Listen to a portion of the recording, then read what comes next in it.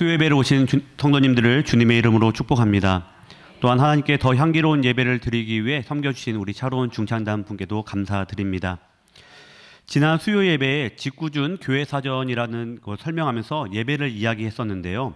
그것에서 이야기하는 것은 예배가 단순히 일이 아니라 순서로 진행되는 단계가 아니라 하나님을 기쁘게 하는 향기가 되어야 된다라고 이야기를 했습니다. 그리고 그렇게 하기 위해선 그런 향기로운 예배가 되기 위해서는 우리에게 세 가지가 필요한데 첫 번째는 사전에 준비하는 과정이 있어야 된다. 두 번째는 하나님의 기쁨이 목적이 되어야 된다. 그리고 세 번째는 참석한 모두가 능동적으로 적극적으로 함께 예배를 드려야 된다라고 이제 말씀을 나누었습니다. 오늘은 그 연장성상에서 레위기 1장 1절에서 9절에 기록된 구약의 대표적인 제사인 번제의 그 순서와 의미를 살펴보고 말씀의 제목처럼 예배를 받으시는 하나님께 향기로운 향기, 기쁨을 드리는 예배자가 우리 모두가 되기를 간절히 소망합니다. 우선 번제는 한문으로 불사를 번이고 제사 제입니다. 네. 저보다 한문에 더 익숙하시니까 잘 아시겠죠. 불사르는 제사이죠. 영어로는 번트 오퍼링인데 번트는 불에 타다라는 것입니다. 그리고 오퍼는 무엇인가를 제공하는 것인데 이것이 기독교적으로는 하나님께 바친다라는 의미를 가지고 있습니다. 그런데 그게 ing니까 계속해서 하는 거죠. 불에 타서 하나님께 기꺼이 바치는 행위를 의미하는 거죠. 구약시대 이스라엘 백성들에게는 하나님과의 관계가 단절되었을 때, 죄가 있었을 때, 그 죄의 문제를 해결하고 벗어나고 용서받기 위해서 번제단 위에 자신의 죄, 잘못 을 대신할 짐승을 올려두었습니다. 쉽게 말해서 자신 대신에 죄값을 치를 재물을 잡아서 번제단 위에 올리는 것이죠. 제사장의 몫이 되는 가죽과 회막문 사방에 뿌릴 피를 제외한 모든 것을 완전히 불태워 그 연기를 하나님께 올려드리는 것이 바로 번제입니다. 그렇다면 이러한 뜻과 목적을 가진 번제가 어떠한 순서로, 어떠한 절차로, 어떠한 의미로 드려지고 있는지 소라는 그 제물을 번제로 드리는 것을 기준 삼아서 오늘 말씀을 좀 살펴보려고 합니다. 여러분 번제의 첫 순서는 무엇일까요? 첫 단계는 무엇일까요? 번제를 드리기 위해서 첫 단계는 뭘까요?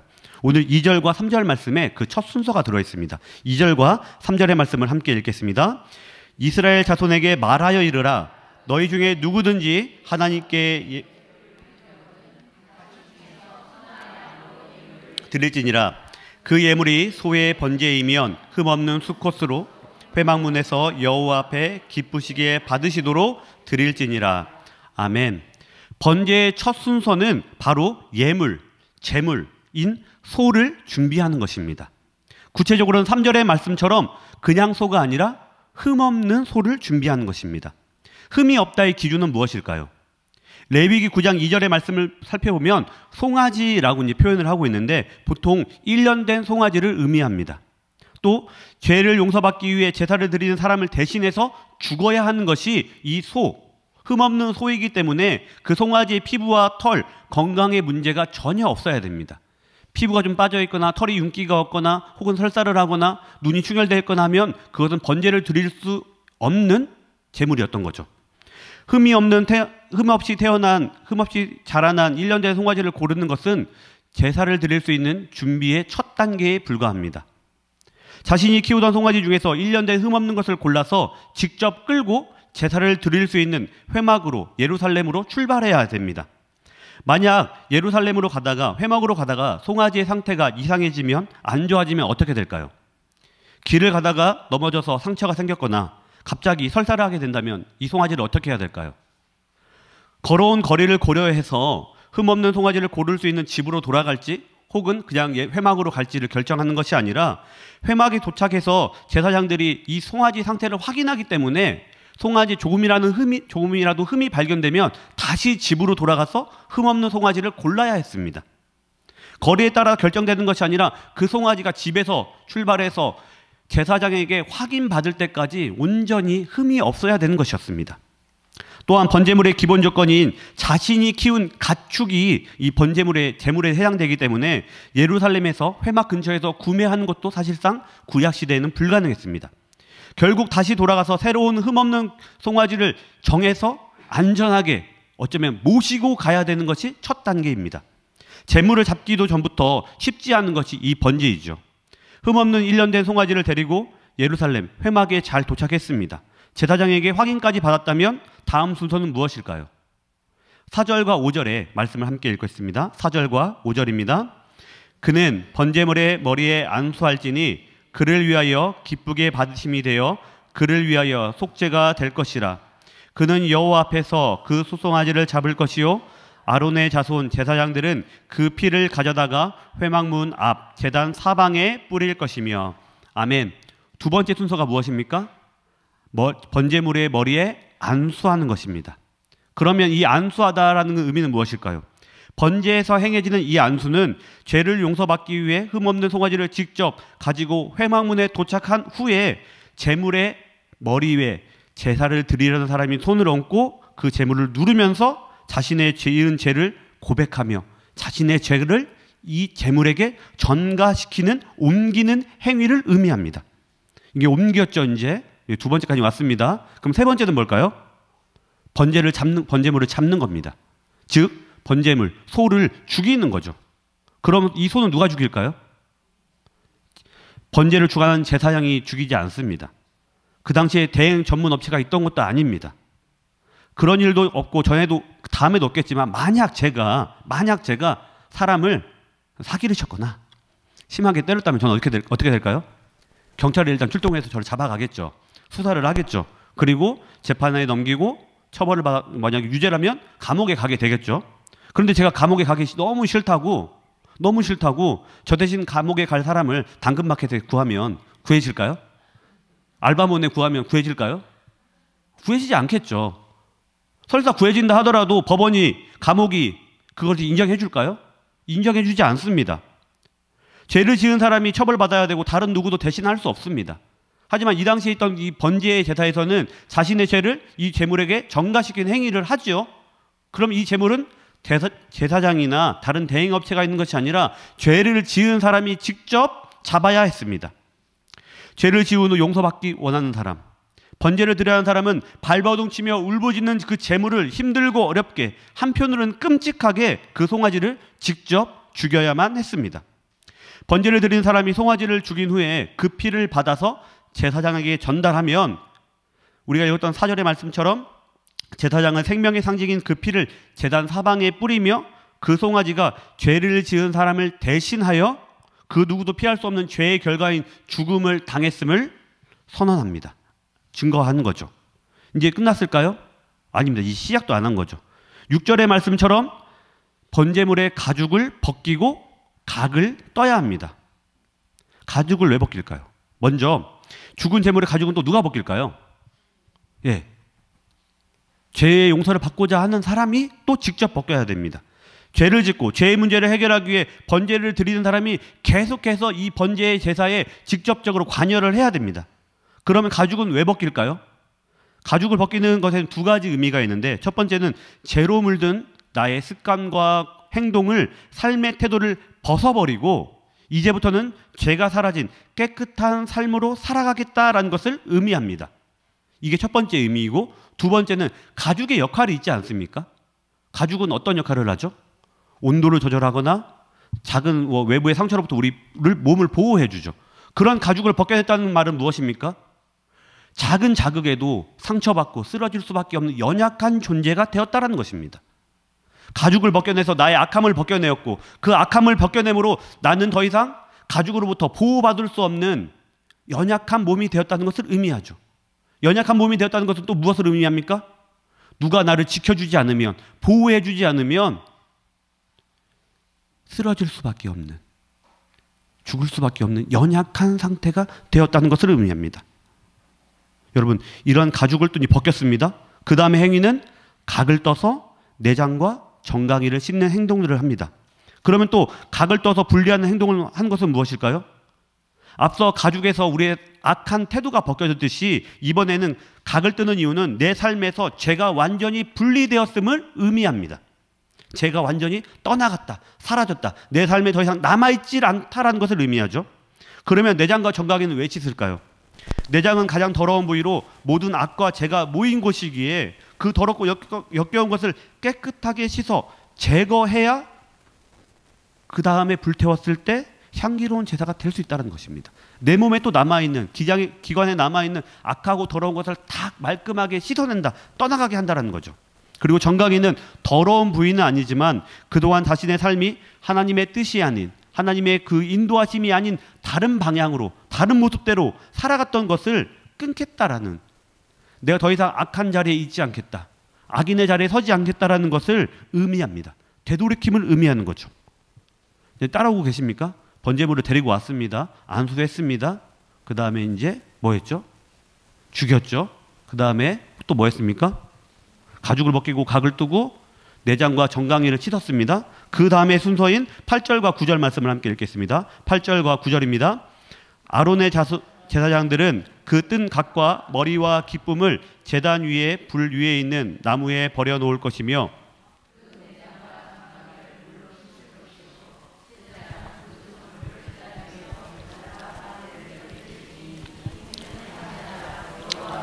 향기로운 냄새니라. 아멘. 이 다음에 말 그대로 이제 번제의 본격적인 행위가 시작되는 거죠. 불은 누가 태울까요? 제사장이 이때 나타납니다. 이제 피를 뿌렸던 제사장이 모든 과정이 정확하게 진행되었음을 확인하고 불 위에 제단 예, 이제 불 위에 재물을 이제 올리게끔 하고 이제 불 태우죠. 피를 뿌렸던 제사장이 가죽이 벗겨지고 각이 떠지고 내장과 정강이가 씻어진 제물들을 받아서 제단 위 제단 불 위에 그때서야 올려놓고 태웁니다. 그리고 죄에서 용서받기 위한 모든 과정을 마치고 하나님께서 번제 향기로운 향기를 기쁘게 받으심으로 제사를 드리기 위해서 죄 용서받기 위해서 지금 제사를 드리고 있는 이 사람의 죄가 사라졌음을 끊어졌음을 제사장이 선포하게 됩니다. 말씀의 주요 흐름은 아니지만 제사장의 이 선언은 분명히 중요합니다. 누가복음 17장에 보면 10명의 나병 환자, 한센병 환자를 만난 후 예수님께서 그들을 불쌍히 여기시고 그들을 치료해 주셨습니다. 그리고 나서 하신 말씀이 가서 제사장들에게 너희의 몸을 보이라라고 말씀하셨습니다. 이는 구약과 신약 시대에 흔히 말하는 피부병과 혈루병 등은 그 질병을 앓고 있는 사람이 행한 죄의 결과라고 여겼습니다. 하나님께서 죽음 이전에 행하신 징계로 어, 이스라엘 사람들은 받아들였기 때문에 이 질병의 증상이 사라졌다는 것은 죄의 용서를 받았다는 것을 또, 또한 의미합니다. 그래서 제사장에게 직접 가서 나은 몸을 보이고 완치의 판정을 선언을 해 주어야만 자신이 살던 성읍으로 마을로 가정으로 되돌아갈 수가 있었습니다. 그래서 이 제사장의 선언은 중요한 것이죠. 그때서야 이 제사장이 죄가 끊어졌음을 사라졌음을 확인하고 선언한 후에 우리는 이 제사를 번제를 마치게 됩니다. 레위기 1장 1절에서 9절까지의 말씀을 살펴보며 죄를 지은 사람이 죄의 결과인 죽음을 그 죽음에서 용서받기 위해서 행한 구약의 제사 번제를 그 과정과 의미를 여섯 단계로 지금 쭉 한번 살펴봤습니다. 그런데 혹시 화면에서 이상한 거 발견하셨습니까? 제가 여러분과 좀 더 집중력 있게 나누고자 하는 말씀은 바로 이제부터 시작입니다. 좀 이상한 점 발견하셨습니까? 1, 2, 3, 4, 5, 6이 다 적혀 있는데 맨 위에 동그라미와 맨 아래 동그라미가 왜 있을까요? 오타일까요? 오타가 아닙니다. 지금 빠져 있는 두 단계가 지금 있습니다. 레위기 1장 1절에 1, 레위기 1장 1절에서 9절까지의 말씀을 번제의 순서대로 쭉 살펴봤는데 사실 이 말씀에는 순서에는 빠진 두 단계가 있는데 정확하게는 본문 1절 말씀처럼 하나님께서 모세에게 직접 말씀해 주신 번제의 그 단계가 아니라 번제를 드리는 사람의 입장에서 두 단계가 빠져 있습니다. 빠진 순서, 과정의 첫 번째는 내가 하나님의 뜻에서 벗어난 삶을 살아가고 있다는 인정하는 것입니다. 번제를 드리는 사람이 누구입니까? 죄를 지은 사람이고 죄의 용서를 받고자 하는 사람이잖아요. 그러면 죄에 대한 인정, 내가 지금 하나님의 뜻대로 살아가고 있지 않다. 하나님의 말씀에서 벗어난 삶을 살아가고 있다는 인정이 있어야 이 번제라는 행위를 할 수 있는 거죠. 만약 내 삶에 대한 하나님의 조명, 하나님의 이끄심에 대한 자기 반성이 없다면, 되돌아봄이 없다면 이 번제 행위를 할 필요가 없는 거죠. 하지만 지금 번제를 드리는 사람은 내가 하나님 앞에 불순종하였음을 어떠한 것인지는 모르지만 내가 하나님의 뜻대로 살지 못했음을 깨닫고 인정하고 내가 이 번제가 아니라면 제물을 드려서 내 죄를 정가시키지 않으면 영원한 죽음에 빠질 수밖에 없다는 것을 깨닫고 그 죄에서 벗어나기 위해서 지금 번제라는 행위를 하고 있는 것입니다. 이것을 오늘 말씀의 주제인 예배 예배자의 상황으로 그대로 가져오면 하나님, 저는 하나님의 사랑과 은혜가 아니면 동행과 인도하심이 없이는 전혀 살아갈 수 없는 존재라는 것을 깨닫고 나와서 하나님께 내 온 마음과 정성을 드리는 것이 바로 예배라는 거죠. 하나님께서 전지전능하신 분이고 이 땅을 심판하실 분이고 우리의 사랑을 베푸시는 분이라는 것 우리가 머릿속으로는 다 알고 있지만 그것에 대한 인정함이 없다면 우리는 예배로 나올 수 없는 거죠. 지금 빠져 있는 가장 첫 번째 단계는 인정이라는 것입니다. 지금 이 자리에 앉아 계신 여러분, 하나님께서 우리의 예배를 받으심을 믿으십니까? 여러분, 하나님께서 우리의 예배를 받으시고 우리를 가장 좋은 길로 인도하신다는 그 믿음이 있으십니까? 그리고 또한 동일하게 하나님, 제가 하나님의 뜻대로 살아가지 못한 연약한 존재였습니다. 라는 그 고백이 여러분 있으십니까? 그 고백이 있어야 우리가 드리는 예배가 정말 진정한 예배가 되는 거죠. 시간에 맞춰서 와서 시작하고 끝나는 예배가 아니라 내가 하나님 없이는 살아갈 수 없음을 내가 주님의 은혜가 아니면 살아갈 수 없음을 고백하고 인정하고 올려드리는 것이 예배이고 예배자의 모습이라는 것 여러분 꼭 기억하시길 바랍니다. 이것이 숨겨진 첫 번째였다면 숨겨진 두 번째는 또 뭘까요? 하나님께서 우리를 가장 좋은 길로 인도하신 분이라는 것에 대한 인정, 내가 하나님의 뜻에서 벗어난 것에 대한 인정, 그걸 깨달음을 가지고 1번부터 6번까지 쭉 해냈습니다. 그럼 마지막 동그라미 하나는 무엇인가? 이것은 두 가지로 나누어질 수, 있는데 이것은 우리의 선택에 따라서 달라지게 됩니다. 이 선택의 첫 번째는 역설적으로 또다시 죄를 짓는 것입니다. 우리가 하나님 앞에서 연약함을 고백했고 죄지었음을 고백하고 번제를 드렸습니다. 그리고 다시 집으로 돌아가서 또다시 죄를 짓는 것입니다. 성경에서 번제를 하나님께서 기뻐하시는 향기로운 것으로 표현했지만 한 교회에서 오늘 본문을 따라서 실제로 소 잡는 행위를 했습니다.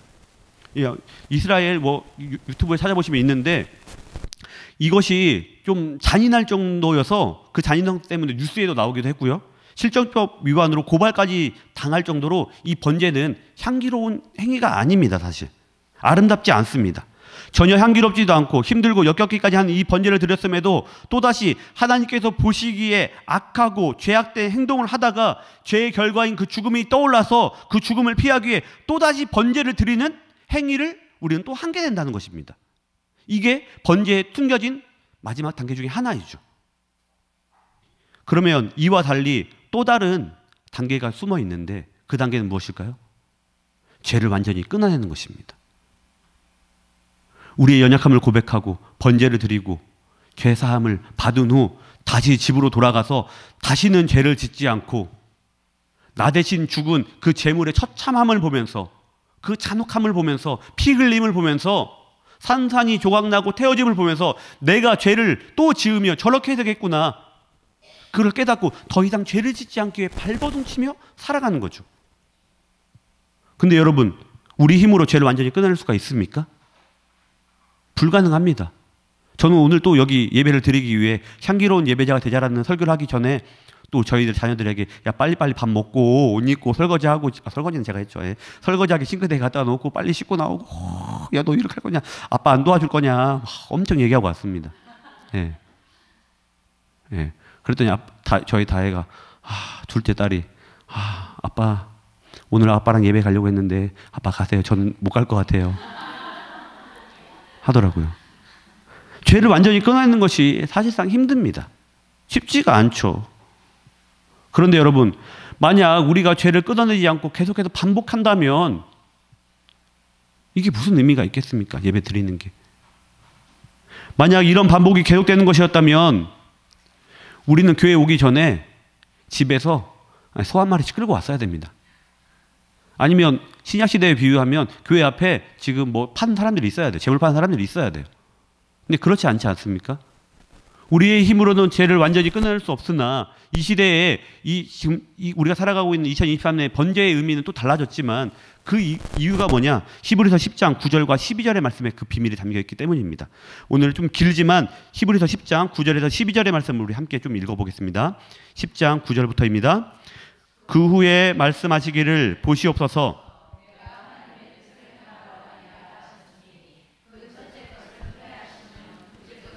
세우려 하심이라 이 뜻을 따라 예수 그리스도의 몸을 단번에 들으심으로 말미암아 우리가 거룩함을 얻었노라 제, 제사장마다 매일 서서 섬기며 자주 같은 제사를 드리되 이 제사는 언제나 죄를 없게 하지 못하거니와 오직 그리스도는 죄를 위하여 한 영원한 제사를 드리시고 하나님 우편에 앉으사 아멘.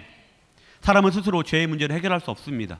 번제란 행위가 구약 시대에는 유효했지만 지금 이 시대에는 좀 유효성이 없지요.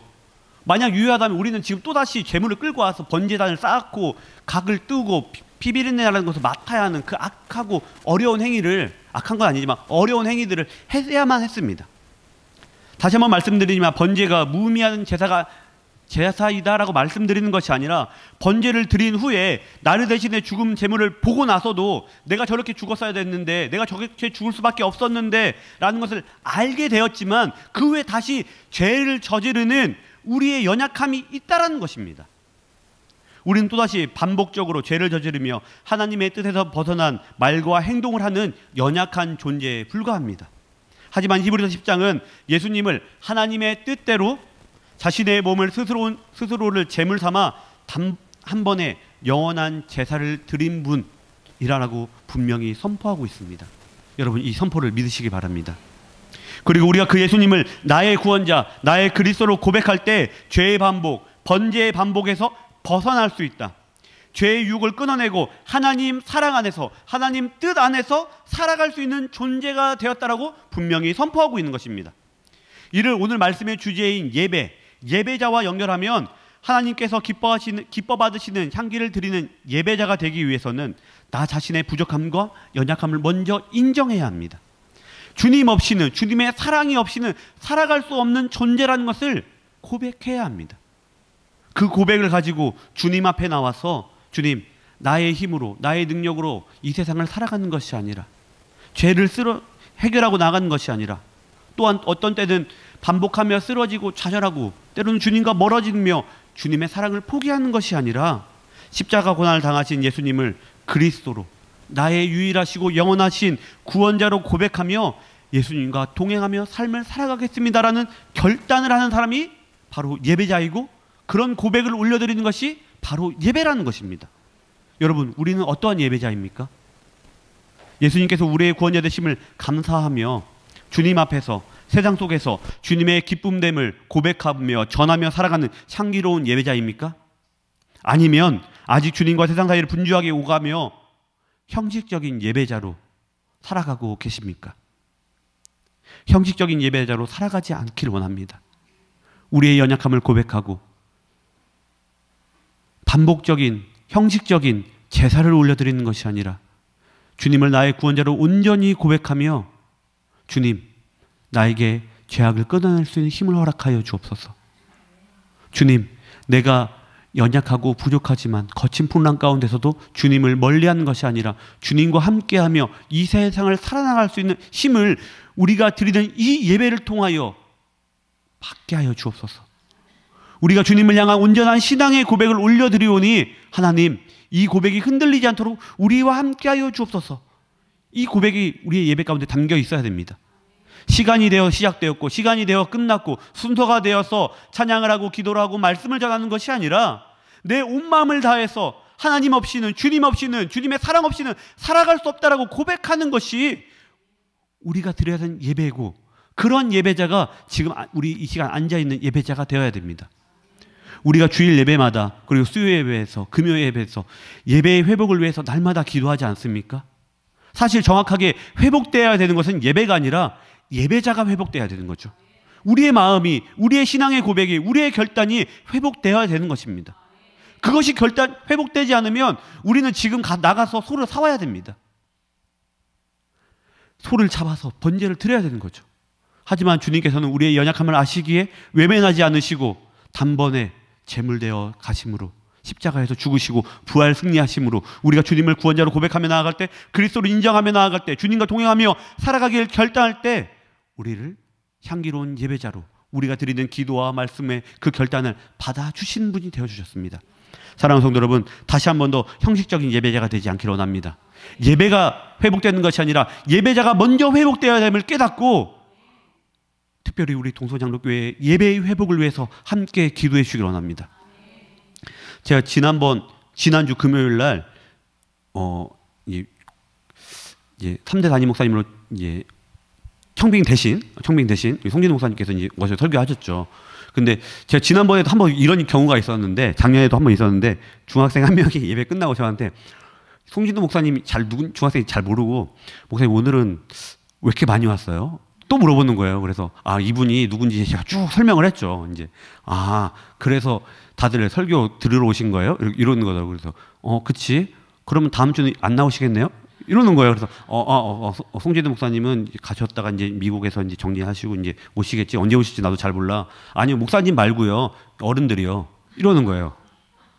예. 여러분 부끄럽 다음 세대 부끄럽지 않는 예배자가 되길 또한 간절히 소망합니다. 제가 웃음으로 이야기했지만 우리가 심각하게 받아들여야 됩니다.